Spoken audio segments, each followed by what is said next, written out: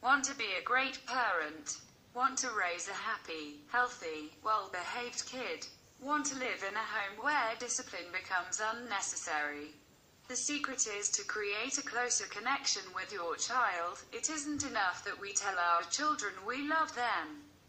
We need to put our love into action every day for them to feel it. Seeing things from the our child's point of view. And always remembering that this child who sometimes may drive us crazy is still the precious baby we welcomed into our arms with such hope. Being present just means paying attention.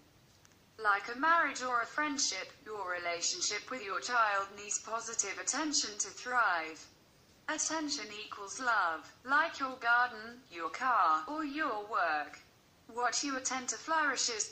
But the secret of a great relationship is some focused time every day attending only to that child. The closeness of the parent-child connection throughout life results from how much parents connect with their babies.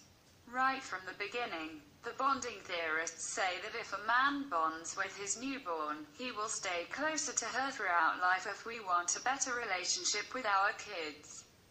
We have to free up the time to make that happen. We trust in the power of human development to help our child grow, learn, and mature.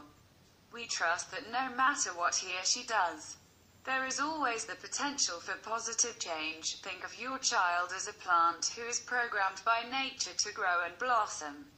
If you see the plant has brown leaves, you consider if maybe it needs more light, more water, more fertilizer. You don't criticize it and yell at it to straighten up and grow right. Think of relationships as the slow accretion of daily interactions.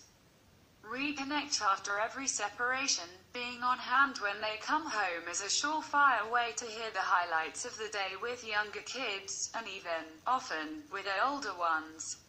With older kids, simply being in the same room doing something can create the opportunity for interaction, but the most important part of staying available is a state of mind.